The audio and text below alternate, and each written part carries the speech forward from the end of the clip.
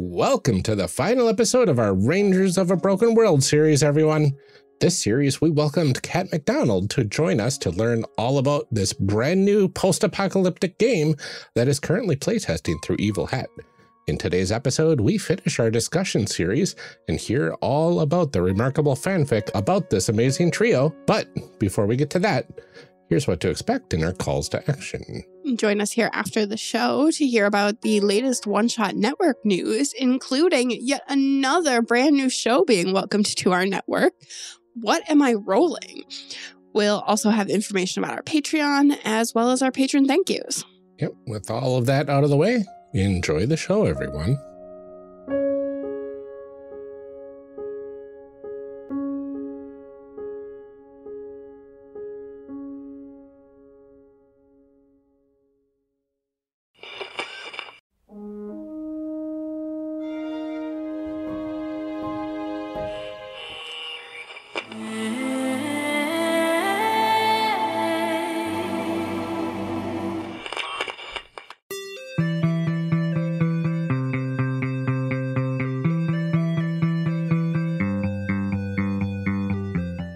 Last episode of Character Creation Cast, we learned a bit more about Cat's origin story and got into some great discussion about how the character creation went in this series. We're picking up right where we left off last time. Enjoy.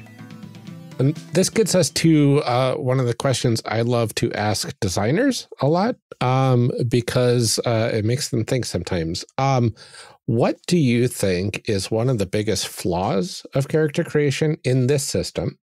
And what is your favorite part? I do truly know the answer to this already. You can't stump me. And that's because one of my dear playtesters, Kathleen, that's also Kathleen, Mm. um, is one of my dear playtesters, Kathleen, pointed out to me that character creation in this game is very front loaded, which means that you have to develop an identity for your character much sooner in this game than you Mm. do other games, even games in a similar style Mhm. you do kind of have to delve into your character's interiority before you've had a chance to play them, which is not always where that goes. Mhm. And a lot of people are like, for example, when we talked about answering the questions, Yeah. And and Amelia, your response was like, I am not prepared for that yet. like, I don't Yeah. know who this person is.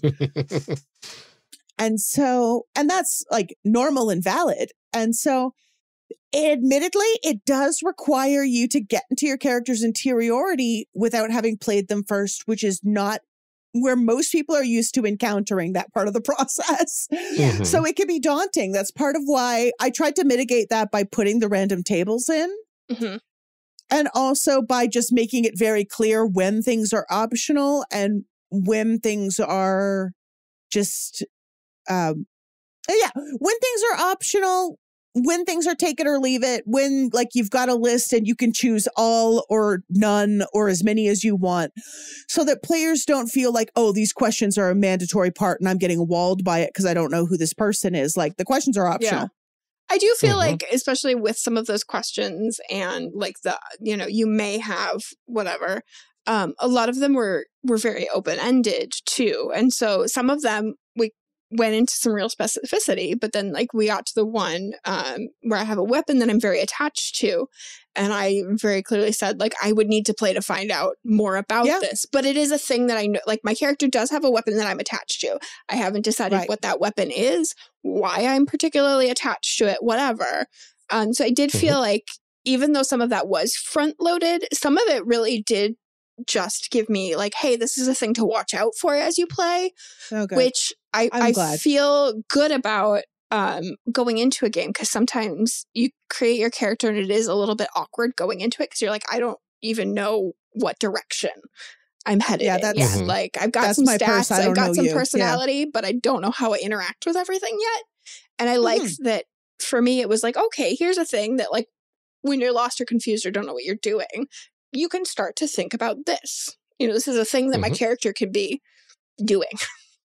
Yeah, like key is very much like these are the things that motivate your character, and they're fully free form, which means like that that's probably the most important random table I put in there because fully freeform can be daunting for people. I get that. Yes. Yeah. But I Mhm. also think that having them day one of your character is a really great way to be like, okay, what motivates my character? I'm looking at the list, pride. My Mm-hmm. Yeah. character takes pride in his work.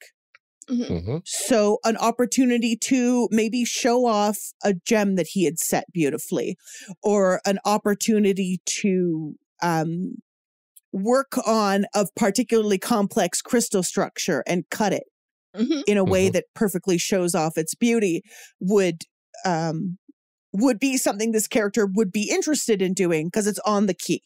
Right. Mhm. And I think having those random tables really said, like, you know, because like Ryan just kind of went through and did like a pick and choose out of these options. I went through and rolled, and the way I rolled was perfect. I loved it. But I definitely could have gone through and been like, oh, I, you know, I got this word, but I think a better word would have been, Yeah. you know, that and like a little free association from there too. So it felt like you had a lot of options. So it it was as open ended as you wanted. Yeah. So I guess Mhm. my answer is that the open endedness and the very introspective nature of it is its biggest flaw that I have put a lot of effort into trying to provide comfortable on ramps to Mm-hmm. to minimize player discomfort with that. Mhm. Yeah. And I, I think the thing we come across with this question a lot too is this is a flaw if it's not what you're looking for. And, you know, because Oh, I think that an there easy is a answer though, place for, you know, a game that really does front load some of that stuff because it means then when you go into the game, you know who you are and you don't have that sort of awkward starting out phase. Um, Yeah. But Mhm. if you're you know much more of a play to find out kind of person maybe it isn't for you but on the other hand i think that there are a lot of opportunities built in to say okay i know about this thing but there are also lots of blank spaces that i don't know about Right. Yeah. Um, I, I do also think that if it's not your thing, ev- everything is flawed. well right If it's and not I- your I- thing, not everything is for everyone nor should exactly. it be Like, because if everything is for everyone, sometimes it's also for no one. That's a whole other Mhm. thing. That's why we don't play everything in 5e. That's why we don't play everything in a generic build your own kind of system. It is the reason that people keep making games and finding Yeah. new ways to solve things because Mhm. this is something that I personally want. It's okay if not everybody wants it. There's something out there for you. You know? exactly. So that's um, yeah. It's I, I definitely think that like that It's a, I think it's, its a very like, valid even criticism. yeah. Yeah. Even people who like like mid crunch narrative forward but not fully narrative front hmm games, games that like like games like this one, even people who like this are sometimes much more toward an improv and are less comfortable front loading interiority stuff. Mhm. And so like even if this game is your taste, Mhm. that is Yeah. an entry hazard that Yeah.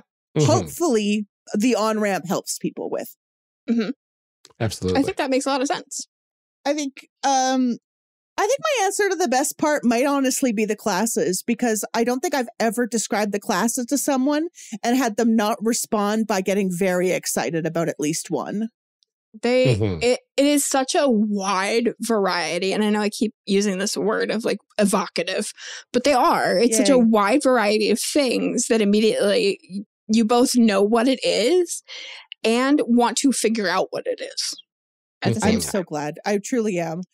And yeah, every time I just every time somebody reads them, they'll respond to me just like, "Oh my god, the infiltrator," Mhm. or they'll be like, "Oh, I want to play a navigator right now." Like it's Like, oh, that's the one. That's it. yeah, like people will will see them and they'll get excited about something Yeah. and Mhm. um so I, I genuinely that's the part that brings me the most joy i love them tracker Mhm. is my my personal like my infant baby um legionnaire is also my infant baby because i too am occasionally depressed Mhm. but and from a very cold place so Yeah, we know we If- know if about that here in Wisconsin.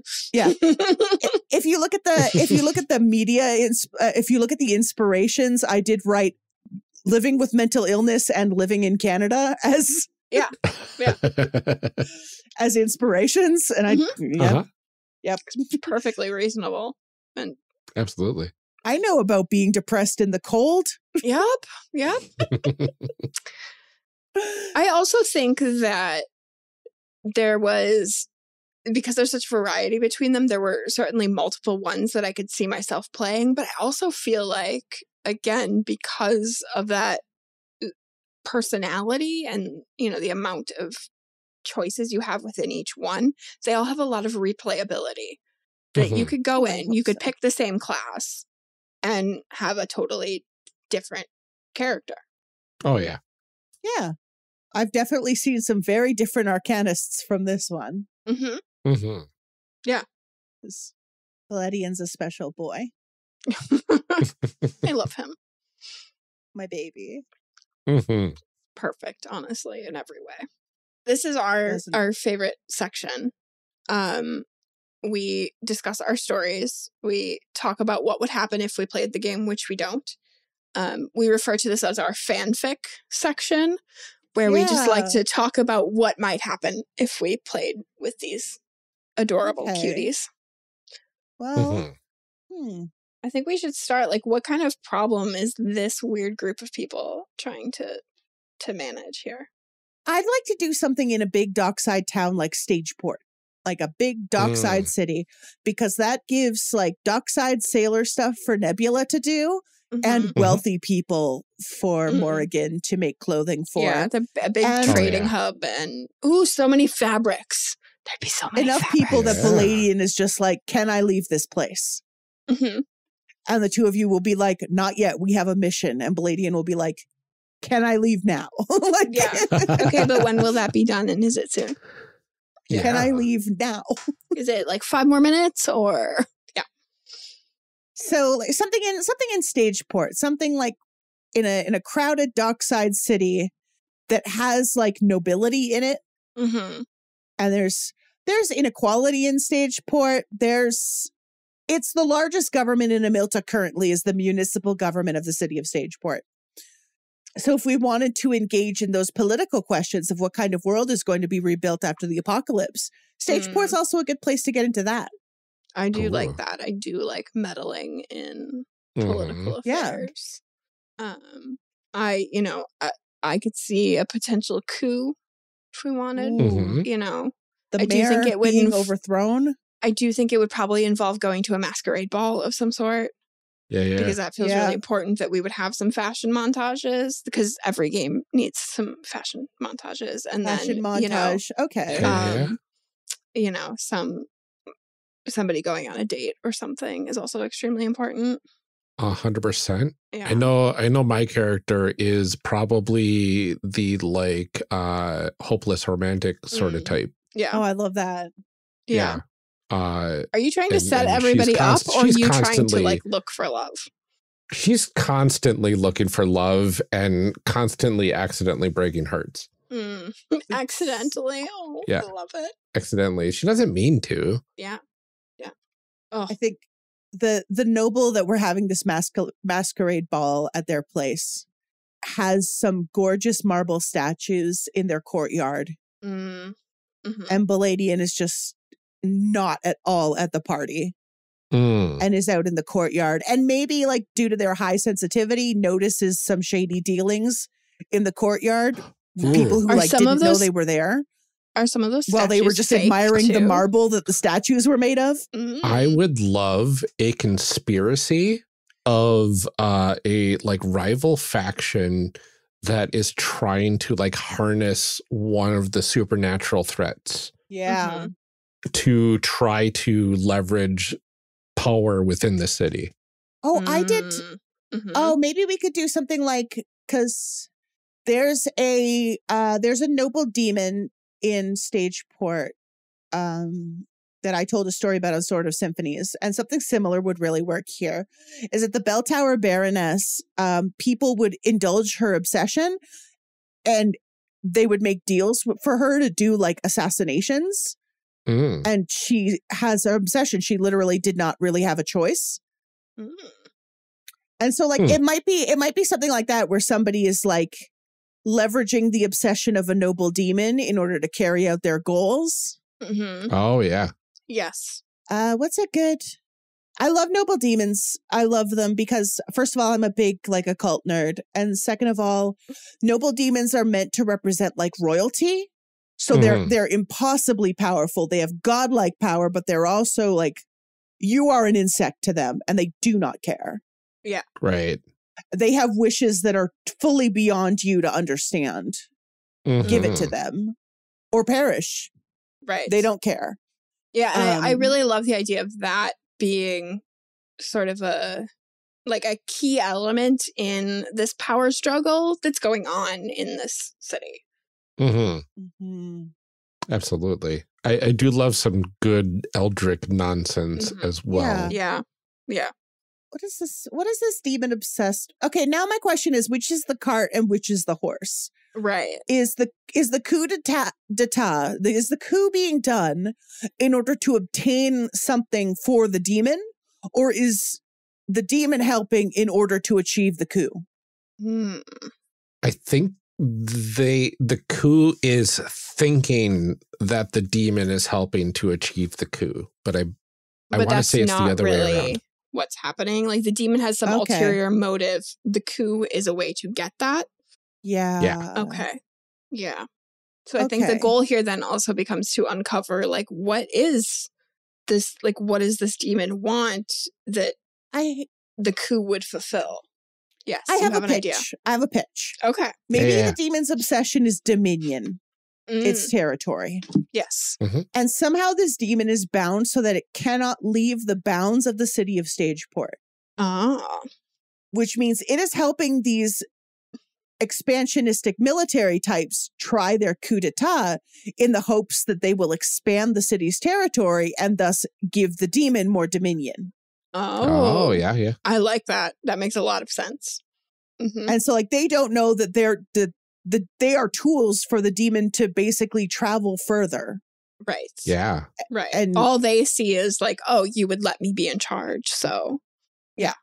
And they they have Mhm. not asked why the demon is helping them. right. Or maybe the demon has lied to them fully. Yeah. And just been like, oh yeah, I'm obsessed with old coins. Bring me old coins and I'll help you with your whatever. Yeah. The team demons are notoriously honest and truthful. Notoriously trustworthy. Yeah, absolutely. Absolutely. So is it is it our group's uh purpose here then to stop this plot?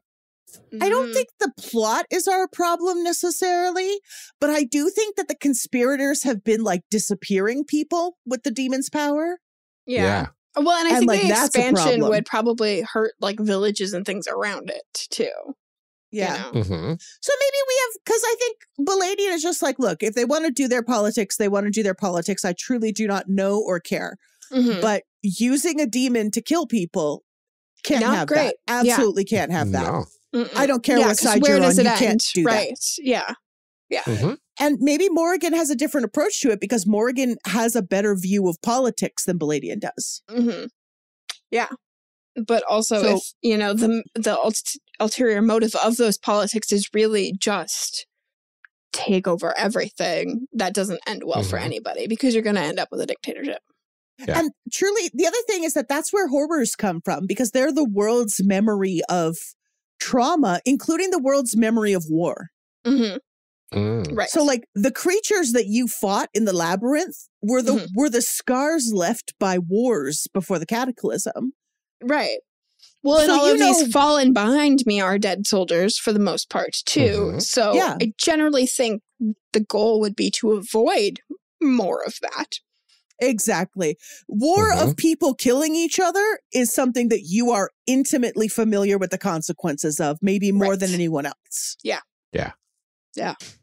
Yeah. I mean, and I think we would all potentially have very different reasons for wanting to do this, and then there is also the potential um, for some good quality intra-party conflict if we don't Oh, yeah. necessarily agree on what the outcome should be here. Mhm. Um, And I think that's yeah. that's always a lot of fun to play out too. What do I want I think Also, this is if a there's a masquerade, Yes, Mhm. like I, I my character's got to sing at some point Oh at yes. the Obviously. at the ball, Yeah. right? For sure. Um, and and it's got to be as a distraction, so you two can go do shenanigan hero shenanigans of some sort. Right. Got to be a distraction. hmm Um, I'm just trying to think now. Like, I think the um, I wanna, I wanna say the title because I usually give them titles. I kind of want to say the Grand General, the Grand General of Shattered Stone, is what I'm Hmm. gonna call this noble demon, I think that's very good. and maybe he inhabits like a a ruined, a ruined building that like weird things happen in there. No one has ever restored it. He doesn't want anyone to restore it. hmm And they have little servants they make, which are the lesser demons like Dendra. So maybe no, I kind of want to say that they're just like um they look just like empty suits of armor, the the lesser demons Of the- Oh yeah. of the great general, of the grand general. I love it. I love it. it. 'cause just I like feel like that's empty suits of something that like would be around and you know, I think there's a point too where like people are like scrambling to kind of collect them, which is essentially Mhm. spreading these lesser demons around too. Yeah. Yep. And they're also that also means that we could have one or two of them as messengers from the general at Mhm. the masquerade ball. hmm Mhm. And people would just be like, oh, there's a figure in full armor. Yeah. Yeah. But it's empty. There's nothing in there. Right. Oh, Which so you good. would notice Oh, being incredibly sensitive to these things. You'd Yeah, be like, being- that being doesn't very walk sensitive quite right. And demon knowing. It's just like, oh, You're like, oh crap. I also have a wicked advisor. So Dendra is Dendra has the ability to just be like, "That's a demon, huh? Yeah. check it, check it out. Yeah. That's a that's a lesser demon. I know these Takes things. one to know one. Uh. Takes one to know one. Jerk. Yeah, fully. And you're like, quiet, don't say that out loud. I do not want to approach this stranger in armor. Right. I do not want that. hmm I would like to point out that we all have the best costumes there. yeah. Meanwhile, Nebula's like sitting over here striking up a conversation with an empty suit of armor, just Mhm. like putting on the charm. Yeah. Yeah. Oh, Totally oblivious. the strong silent type. Wow. Mhm. Yeah. Totally willing to listen to all your stories. You love a good listener. Uh huh. Absolutely. no, no, no. oh, Nebula. That's terrible. And like But I Palladian's love just like, um, uh, ne- Nebi, ne- um, I'm getting to the good part. that's um, Hold on a second. okay, all right, okay.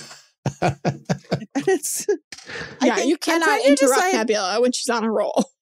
no, no. Fully does not have the heart to interrupt Nebula. I've got like a like a side audience Mhm. just like hanging on to the story.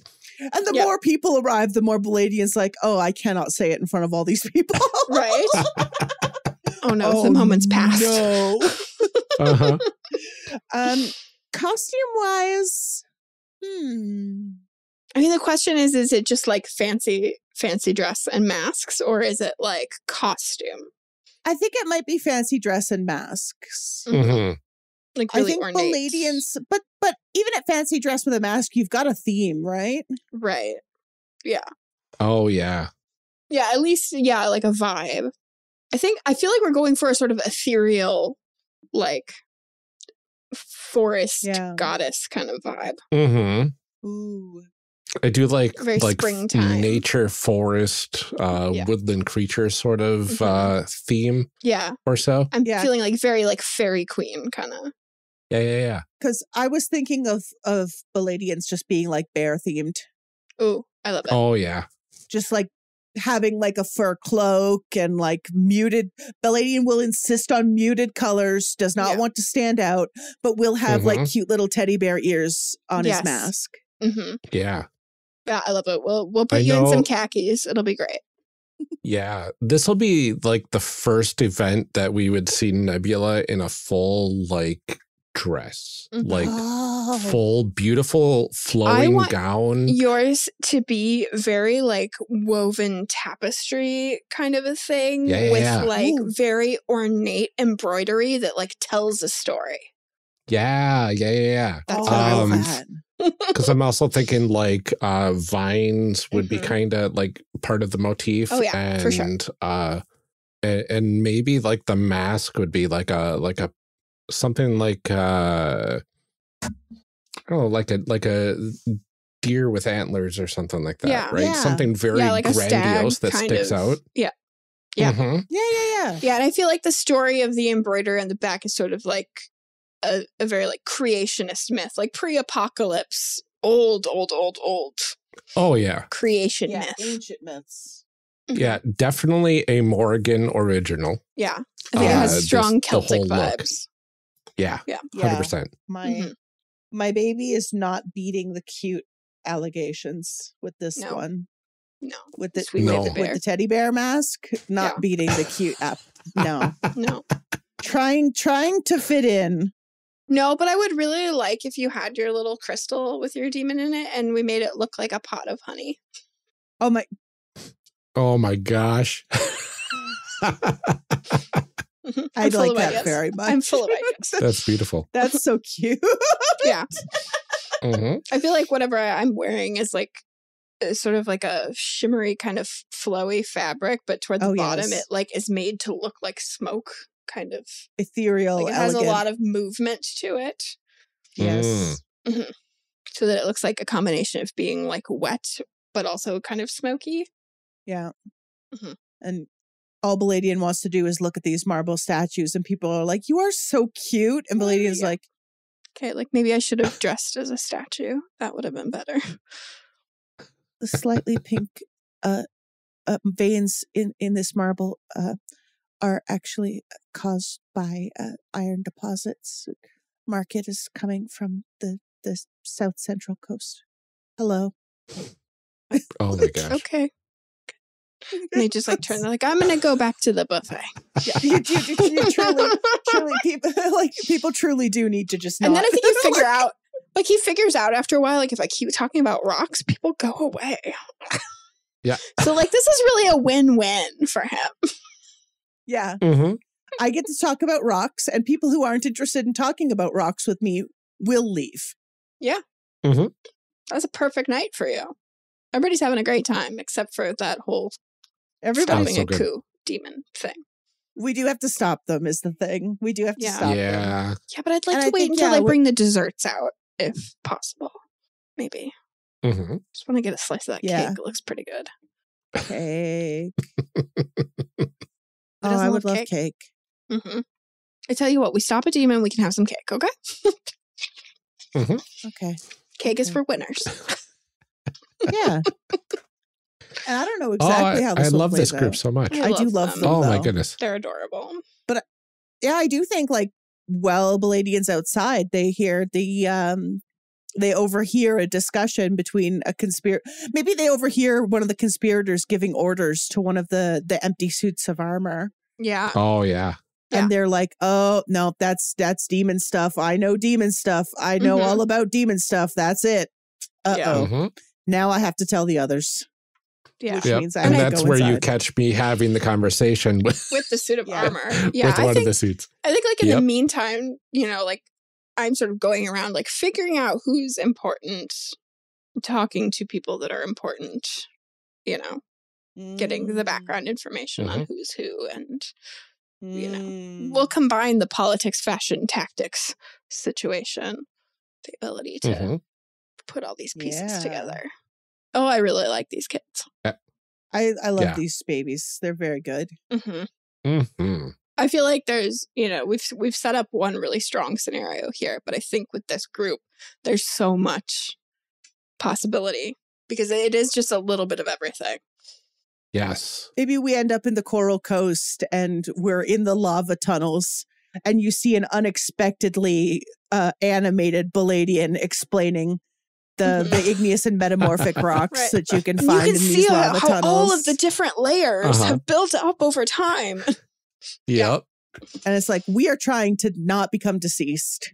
Mhm. And Palladian's like, oh, I know. Don't worry. We won't become deceased, but I need you to look at this here. You see that big dark crystal? And it's like, right yeah but we have to keep Mhm. going or it's going to get too hot so yeah. Yeah. Yeah. Truly.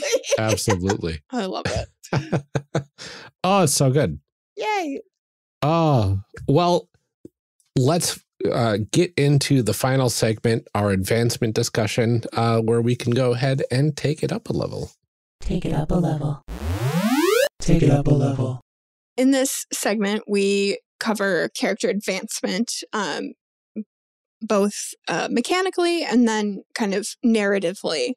I did notice that there were different, um, is it chapters or what? What were they called? Uh, seasons. Seasons. Yeah. Yep. So, can you tell us a little bit about how that works? Oh yeah, one thing that we didn't do because it's tied to advancement is lesson. Lesson is kind of the it's what your it's what your character needs to learn. It's the lesson they need to learn to grow as a person. And this is very mutable. It's not set in stone. It's mostly a signal to your GM about what you want your character's story to look like. Mm. Because when every character has had their own story and the GM has told a little like capstone story, that's one season. Mm. So when that season is over, everyone gets to take a new ability and take some new skills depending on what they did during those stories. Okay. So at the end of a character arc, everyone gets to take one new skill. Okay. And the person whose arc it is also gets to increase one of their facets. Ooh. And then when everyone has done this, then we go up a season and you could take any ability that is your season or lower on your list. Oh, nice. So I've written five seasons worth of abilities, but you can double up and you can go back and take abilities from older levels Okay. as much as you want. Very nice. Yeah. Are, are you capped at five then, or can you just Nope. keep going? You can just keep going, but I've written abilities up to five. So you would, when you t- do level six, you just have to take another ability somewhere between one and five. That's beautiful. Yeah, I did not want a cap. That's amazing. Yeah. That's so good. I, I'm wondering, um, would we be able to think of uh, some some quick uh, lessons for each of these characters? I mean, I'm open to that. Like, what would I you don't want our even know where to season start. one lessons to be? I think my season one lesson for Palladian is that you're not as different as you think. Mm. I think Palladian's Hmm. anxious about people because they think other people don't understand. Well, c- you know what? They, he. Let's go. They, he at this point. I've been using them interchangeably. They think other people won't understand them. They think they don't understand other people. Other people don't understand them. But I think their lesson would be actually a lot of that is your barrier that you need to challenge and overcome, and that you can Mm. form connections with people. Yeah, I like that. Um, for Nebula, What's the most important function is to tell the GM what kind of story you're interested in telling about this character. Yeah. yeah. I mean, and I feel like for me, the the most important thing would be finding a balance between the living and the dead, um, Mm. and not being so focused on one that you let go of the other. Mm-hmm. Can I make a pitch for Nebula? Sure. Maybe a pitch about like um a pitch about non-romantic love because Nebula's such a romantic that maybe just like the world is full of different kinds of love. Yeah. Gosh. Yeah, cuz I my my initial thought was like she's looking for that romantic love Mm-hmm. and she doesn't recognize it when she sees it. Mm. So like people fall for her and she doesn't think it's a romantic love that people are feeling for her and she's trying to figure out that. So yeah, I think like I think learning to see Um, love in all its forms. yeah, learning to see love in all its forms and learning to understand what forms of love there are Mhm. would be a, a fantastic lesson for Nebula. I really like that.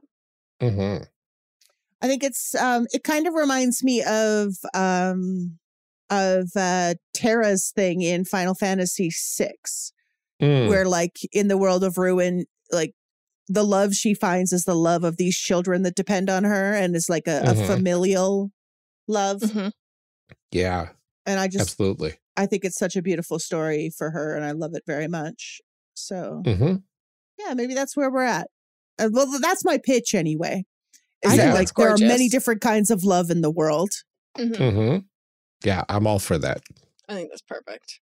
Fantastic lessons. Yay. Yeah, so it sounds like the the sort of narrative growth and and I always really like when this is the case is that the narrative growth and the mechanical enhancements happen together.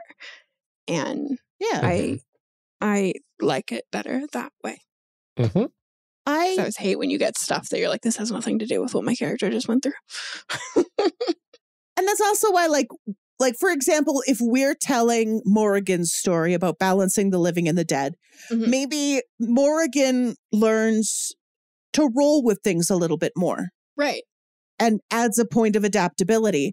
Meanwhile maybe uh like Palladian and nebula aren't going to be adding stats but they do get to add a skill. Hmm so like i might add say melee weapons. Hmm I might learn how to use a sword over the course of this story. Right. So I, I Yeah. did want it to be very tied with experiences, not as like points, but as things you do. yeah. Yeah. Absolutely. That was kind of very front of mind for me. Mhm. Mhm. Very cool. Yeah, I, th- I think that uh, it, it's a very straightforward advancement system. Um, once you get your lessons learned, then make new lessons and advance your characters. Yeah, you there's the world is full of things to learn. Yeah.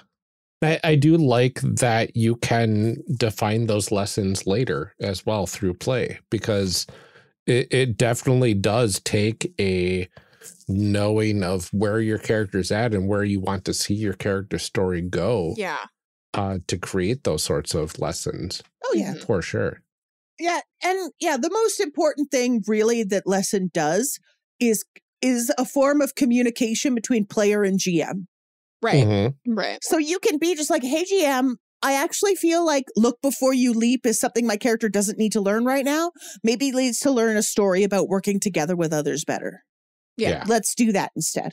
Yeah. Well, and it just ensures that you're getting out of the game like the kind of growth that you want to to play with. You know, the kinds of stories that you want Yeah. to tell about your own character. Exactly. Exactly. Exactly. Exactly. Mhm. And yeah, it gives you story think, beats to play a toward. future lesson for my character Mhm. would be like sharing the spotlight Yes. something like that. I was going to Yeah. suggest that as your first one of like learn when to listen. Yeah. I don't I don't always have to be the main protagonist. You fully don't. Sounds fake, but okay. Amazing. Well, uh, before we end the series, Cat, is there anything else you want to say about uh, Rangers of a Broken World before we head out? Um, I guess that like, yeah, if you're listening to this as it comes out, then there's still time for you to get in on that open playtest. Get your name in the manual as a playtester and get your voice heard in the process. If not, you can look forward to a shiny manual coming out from our friends at Evil Hat, and I hope very much that you do.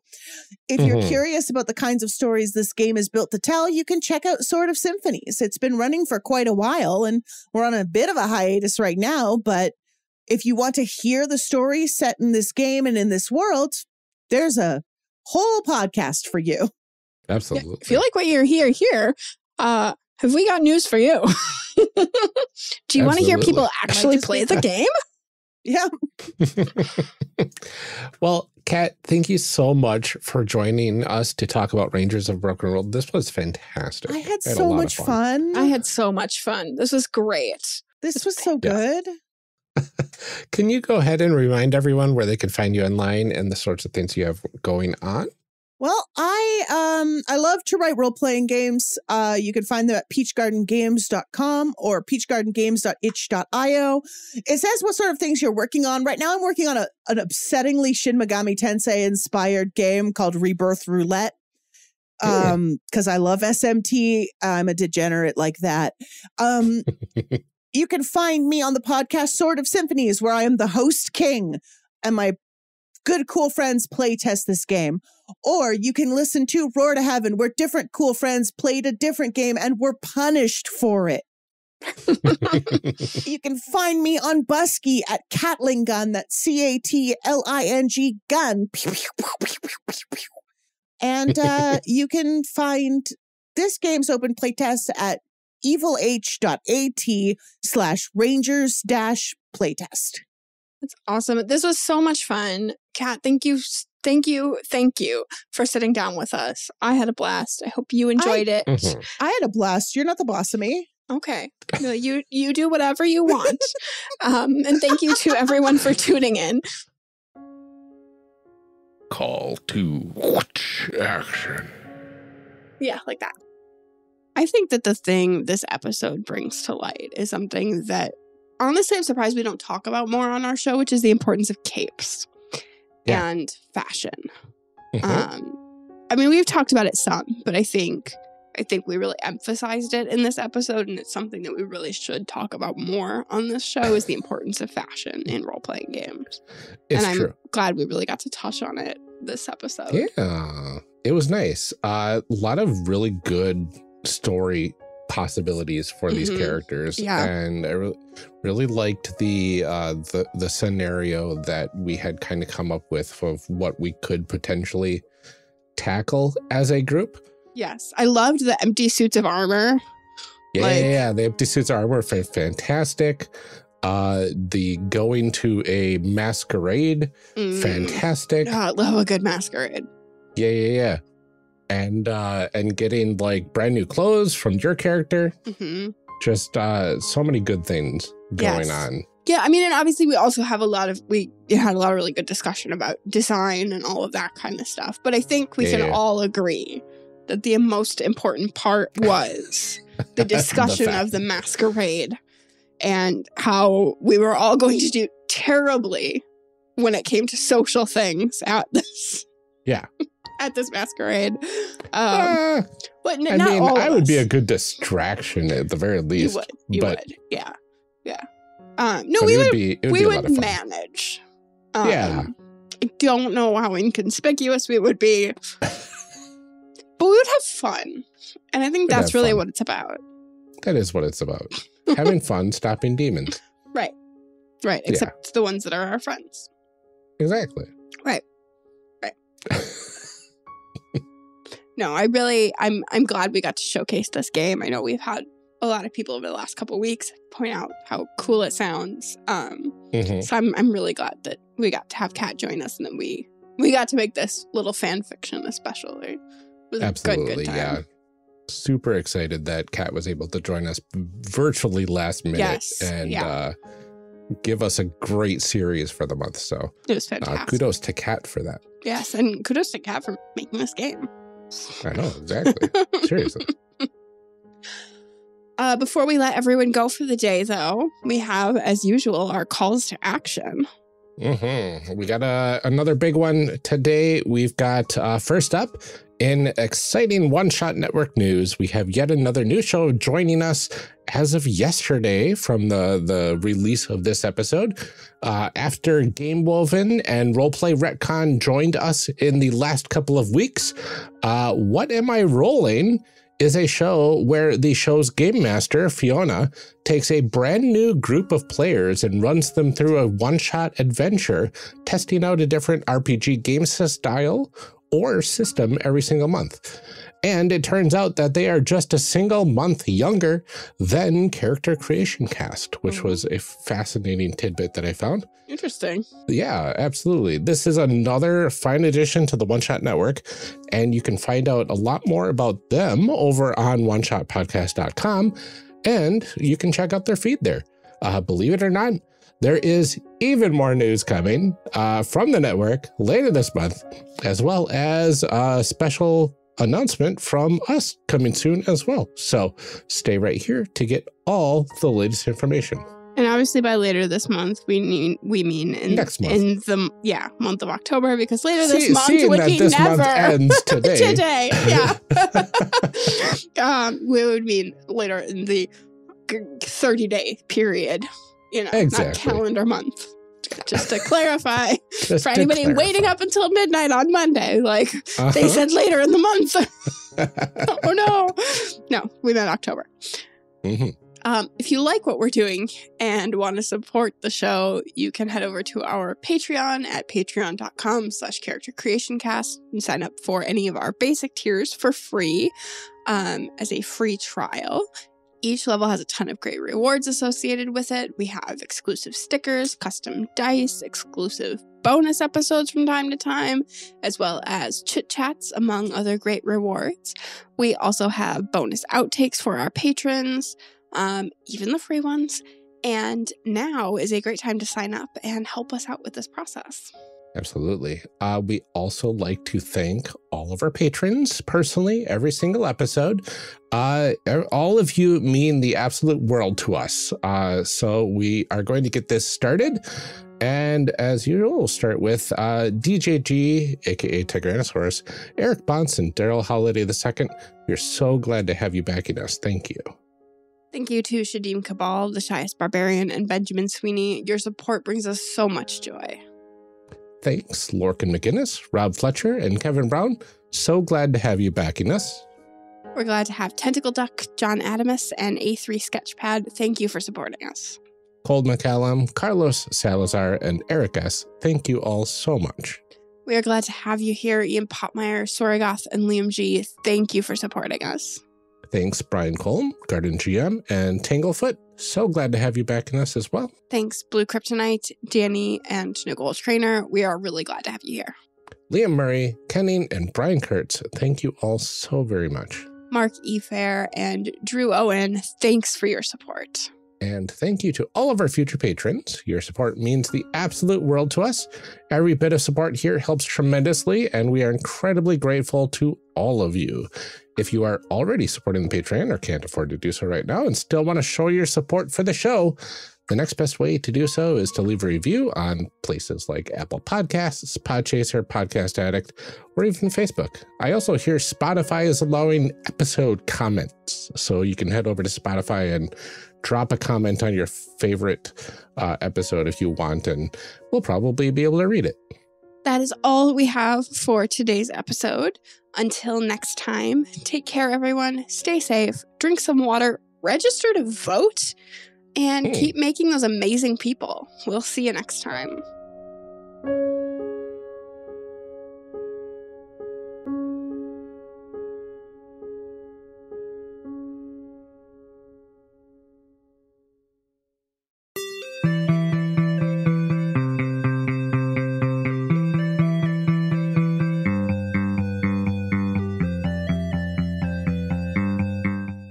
Character Creation Cast is a production of the One Shot Podcast Network and can be found online at www.charactercreationcast.com.